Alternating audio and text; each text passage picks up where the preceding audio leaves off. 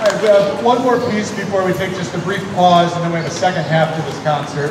Uh, this last piece before the intermission break is an Irving Berlin medley.